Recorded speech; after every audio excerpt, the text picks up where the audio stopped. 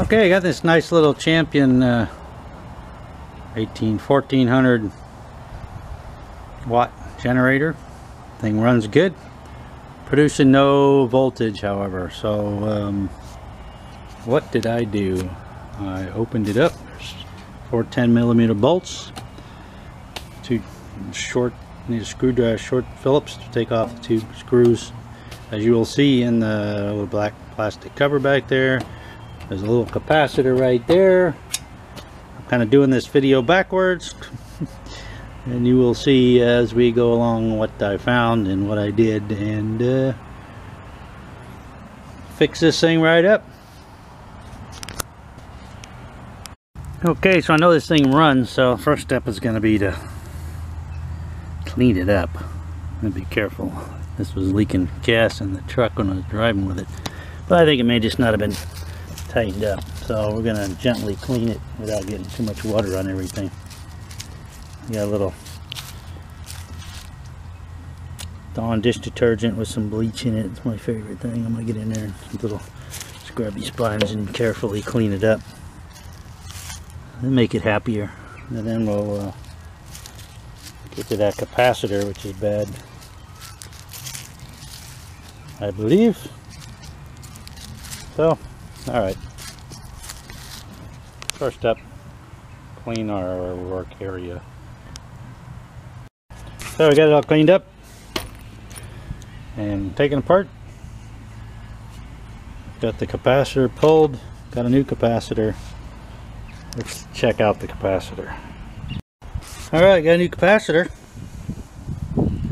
Same specs. No swelling though. You see how this one's swelled out. I'm assuming that's open that's because it's bad.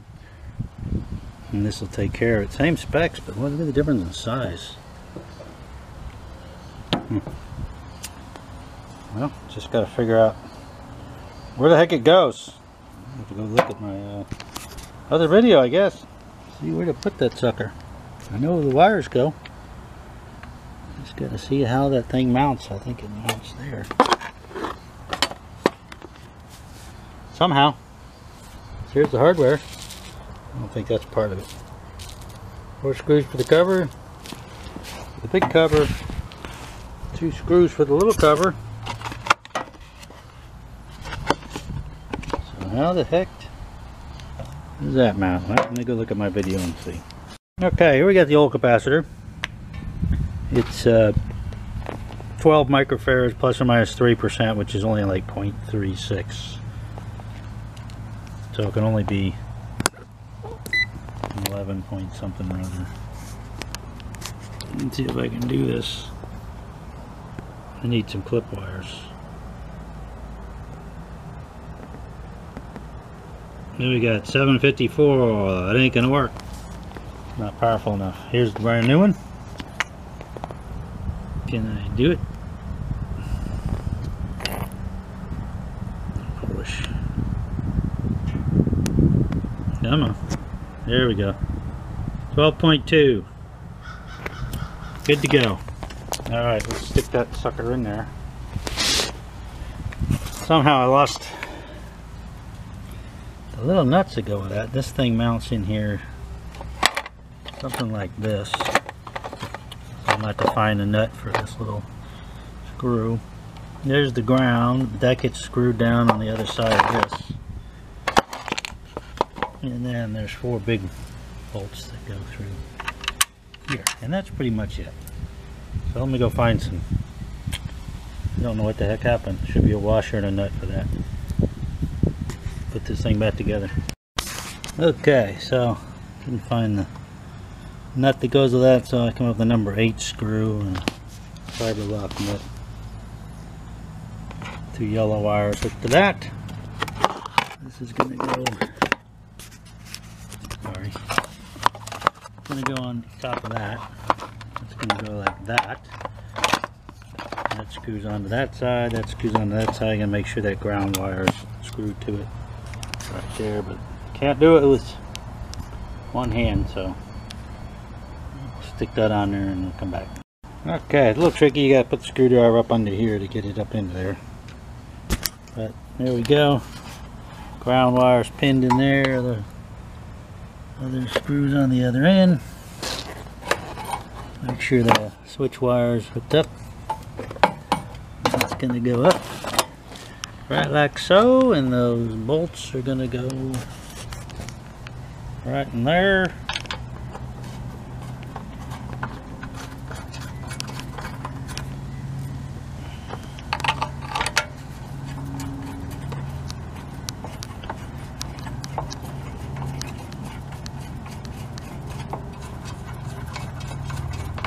and the other two and I gotta see what size these are. Like uh, 11 millimeter. I'll see. Well I should have known. If in doubt it's 10 millimeter. So these four bolts are 10 millimeters. These bolts are 10 millimeters. These bolts are 10 millimeters. Everything's 10 millimeters so. All right we're all hooked back up. Should we see? Let's see. Let's see Believe the fuel is turned on like that. That. Off. On. But we have a choke. We have a choke. Choke goes over there. What- What are the odds?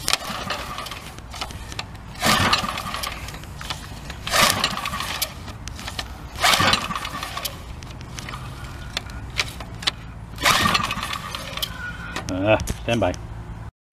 Did I mention I was Polish? Engine switch. How about we turn on the ignition? What do you think is going to happen now? It's probably flooded. Or not.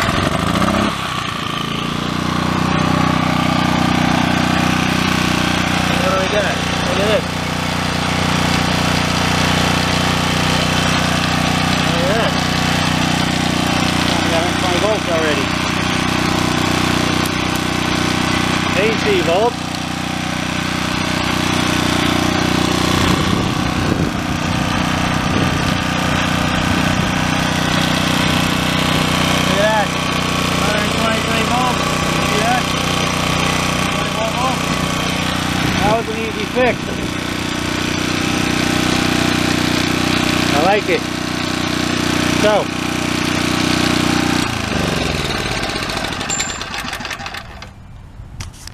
This is what happens when you use your uh, generator, store a bunch of stuff on when you go away. All your parts fall off it. It's probably where that nut is. It's probably going to fall off of there too. Anyway, so the uh, end result, swollen capacitor, if you don't have a, a multimeter to check it, if you see something like that, it's got a swollen up like that, chances are it's dead. You see it swelling on both sides. It, when they go, they have a tendency to pop out like that. Turned out to be a piece of cake. That was a cheap fix. I don't know, about 10 bucks or something. And we're back in business. Cleaned it up. Ready to go. Nice little generator. Yes, indeed.